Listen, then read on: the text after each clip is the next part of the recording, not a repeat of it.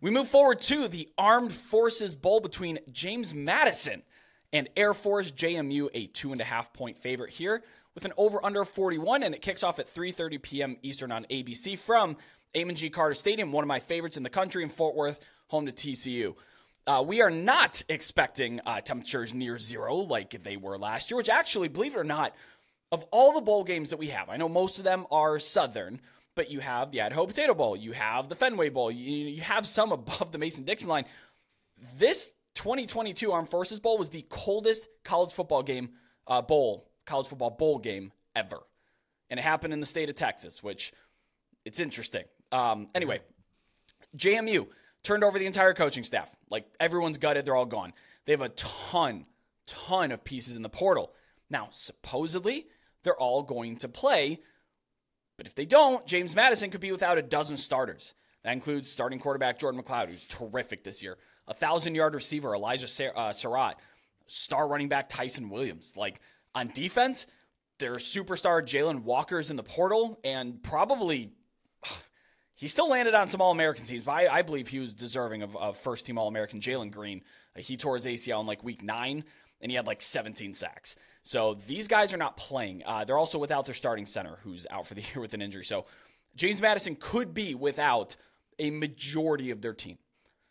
Air Force, they did win this bowl game last year. It's their third straight bowl in the DFW area, but they also lost their last four games after starting 8 0. Now, that kind of momentum scares me a little bit, or the lack of momentum, I should say, but all of those were without their quarterback, Zac Larrier, who Troy Calhoun believes might be able to play. If he plays, this is a very different team. And it's it's weird to talk about a service academy that way, besides, you know, Malcolm Perry. Um, but usually it's not that case. But with Air Force, Zac Larrier, 8 0 when he, when he plays, 0 4 when they don't. Thanks for the reminder about last year's temps in this game, Brett. I had totally forgotten. And yes, I do recall now, though, just that really, really cold streak that we had there in the plains and, even North Texas, as you talked about. So I'd totally forgotten about that. Glad we're not going to be sub zero again uh, for this bowl game. I'm also surprised, though, that that is the coldest bowl game we've ever had. Because as you mentioned, we That's do have some. Too. Yeah. Yeah, we have games in December in northern parts of the country. You would think some at some point would have been colder. Anyway, uh, good fact there. Uh, wasn't tracking on it. You just touched on this though, Brett. Uh, after week nine, these two teams, or excuse me, going into week nine, these two teams were a combined 16 and 0. Um, after Air Force was, let me restart this. At, going into week nine, these two teams were combined 16 and 0. Air Force was ranked, and the only reason James Madison wasn't was because the Dukes were ineligible as they completed the second year of their two year transition period from the FCS. From that point on, these two team seasons could not have been more different. Brett, James Madison, they continued their momentum through the end of the year with their only blemish coming in overtime against App State. The Dukes burst onto the FBS scene in 2022. I truly did not think they could do any better than they did a year ago. They proved me wrong. They won three and a half more games than I projected, which makes them number seven on my overachievers list here. James Madison also finished number seven on my list of power rating improvements from, from preseason to current, rising more than nine points in the power ratings during the year. Just a phenomenal year for James Madison, and I'm excited that they have this opportunity to compete in a bowl game because, as we know, that wasn't a given given this transition window that you have as you make that transition from FCS to FBS.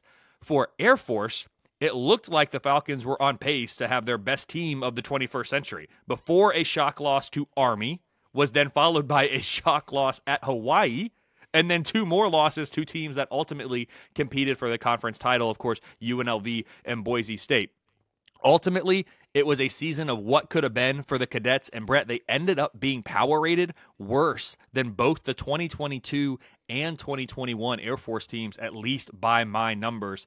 My numbers, which again don't account for opt outs among other factors, like James Madison by about six and a half points in this game, pitting two teams that are on polar opposite ends of the form spectrum, as you talked about. I've started to see this number creep away from James Madison. There were threes on the table. Uh, now we're down to twos. I don't know if that's going to continue or not. I, I, think, like I said, the the there, there's so much going in opposite directions here.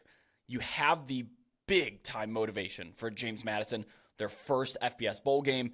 Uh, you know, in theory, they should have that, but I think Kurt Cignetti leaving kind of takes a little bit of that away. And like, there is the potential that the transfers just don't play, be it some, be it most, be it all. I don't know. But we're seeing guys that are announced to not be playing the day of, like we saw with Frank Harris and UTSA in the Frisco Bowl. We didn't know until what an hour before uh, kickoff that he wasn't not even. I think it's when he came out for uh, pregame warmup. So like, are you going to roll the dice and be holding a JMU ticket, and then Jordan McCloud and Jailin Walker and Elijah Sarratt and you know all them decide the day of that they're not playing? I'm not. I, I don't have a JMU ticket, and if these guys do play, I believe JMU is is the right side, and, and handily so. Like you said, six and a half points. I'd take that even more uh, because of how they're playing and, and the motivation behind it. But I just I haven't bet on this game because there's just so many unknowns that could change the day of.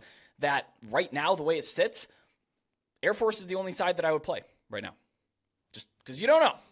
So proceed with caution. If all these players play, JMU's likely the right side, but I just I'm hearing little bits all around the Twitter sphere and other pockets, like things like that, that these guys might not play. Brett, that's just good general advice for bowl season with regard to betting, in my opinion. Proceed with caution. Like that's just blanket statement, period, right there, exclamation point. Um, yeah, that you talked about uh, Harris. We, we don't know. So proceed with caution is great. And again, if at full strength, that's what my numbers would make this one. Um, I'm certainly excited though for James Madison as I talked about having a chance to, to play in a bowl game this year. They did earn it.